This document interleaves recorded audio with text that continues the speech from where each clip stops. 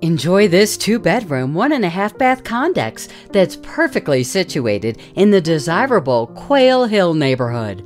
Fall in love with your future home by contacting Kelley Maheu to schedule a tour.